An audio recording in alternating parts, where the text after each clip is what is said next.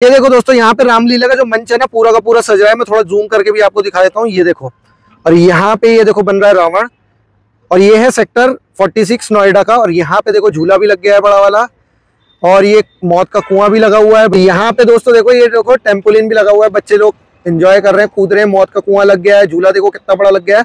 और ये देखो रावण पूरा का पूरा है। मैं पास से आपको दिखा देता हूँ, बहुत बड़ा रावण लगता है। नोएडा का कोई छोटा मोटा रावण नहीं लगता। सेक्टर 46 में काफ़ी जनता आती है दोस्तों, देखो।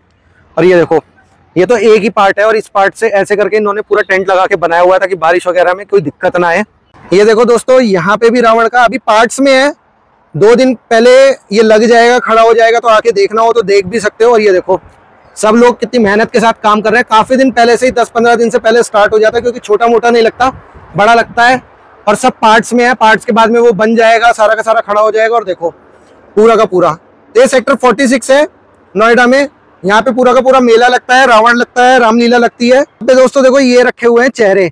रावण भी लगेगा, मेघनाथ भी लगेगा, कुंभकर्ण भी लगेगा, तीनों के तीनों लगेंगे और काफ़ी बड़े होने वाले हैं, बहुत बड़ी हाइट होने वाली है। देखो पार्ट से आपको पता चल जाएगा कि छोटे मोटे नहीं बन रहे हैं, बहुत बड़े बन रहे हैं और अंदर से खुद देख लो, इस तरीके से देखो कितना बड़ा साइज़ है, कितनी अच्छी क्वालिटी से बनाए जा रहे हैं। और ये देखो दोस्तों, मैं हूँ उस टाइम रावण की बॉडी के अंदर। ये देखो, अब ये रावण बनेगा, कुंभकर्ण बनेगा, ये तो पता नहीं कुछ इस तरीके का होता है, देखो अंदर से। फिर इसके अंदर भी भरा जाएगा काफ़ी कुछ। जलने के लिए बम वगैरह भी भरे जाएँगे। और ये देखो छोटी छोटी चीज़ें भी बन रही है, जो फैंसी आइटम होते हैं, जो दिखेंगे आपको। तो इतना कुछ ये होता है। ये देखो साइड से भी देख लो। दो चेहरे ये रहे। तो ये अभी पाँच छह दिन बाद रेडी भी हो जाएँगे। तो मैं एक बार दोबारा अगले वीकेंड पे आके पूरा का पूरा शूट करके आपको दिखा दूँगा।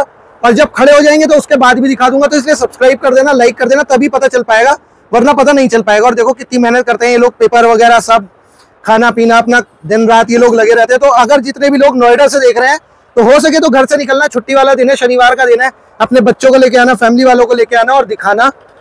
वो लोग भी इंजॉय करें। पहले सब लोग जाते थे, अब थोड़ा कम रश होता है तो जितना लोग जाएँगे, इन लोगों को थोड़ा मोटिवेशन भी मिलता है। नेक्स्ट टाइम और अच्छा बनाने की कोशिश करते हैं।